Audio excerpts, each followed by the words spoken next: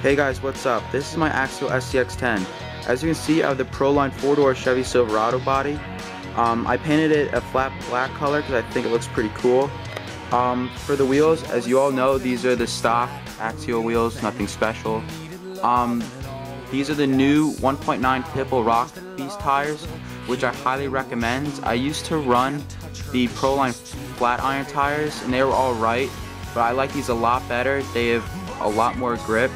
Um, I'm running the stock foams that came with these tires. They're a little soft, but I like them. They crawl like crazy. At the top, I have the Proline roof rack, which I just got yesterday.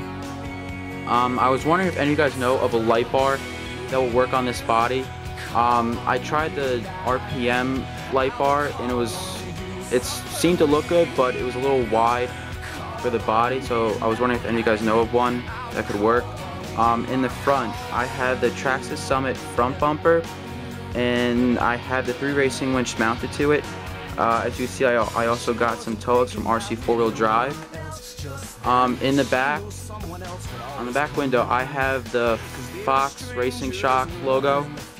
Um, the problem that I'm having in the back is I'm trying to mount this Traxxas Summit rear bumper and the problem with it is that I'm trying to mount it a little lower than the chassis and I'm having a tough time figuring out a mounting system for it. So if any if any of you guys know of one um, you guys let me know. Um, under the body um, I have an Integy 35T brush motor which has some good wheel speed but when I get in a really um, tight situation and I, and I need some torque it like clicks so I don't know if that's a problem. So I'm thinking of getting the uh, Team Tekin 35T motor. Uh, for the ESC, I had the Traxxas XL-5, which I'm hoping to get the, the one with the low voltage cutoff. Um, I'm running this whole truck on the tr with the Traxxas 2.4 gigahertz controller with the link in it.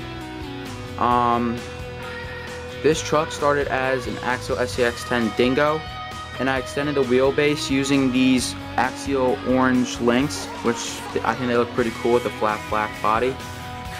Um, in all four corners, I'm running the Proline Power Stroke Scaler Shocks, which I have 30 weight oil in all of them. For the battery, I have the Traxxas 5 Series uh, 7 cell battery, uh, 5000 mAh. Um, it has a lot of power in it, and I like it a lot. Um, as you can see, that's where my winch is mounted, and that's on a custom mounting plate that I have, that I made for it. And in the front, uh, for the steering, I have the the Traxxas waterproof servo. Um, yeah, I'm trying to, I'm working on getting a running video for this, so that'll probably be up in a couple months. And yeah, thanks for watching, guys. Uh, please comment and subscribe.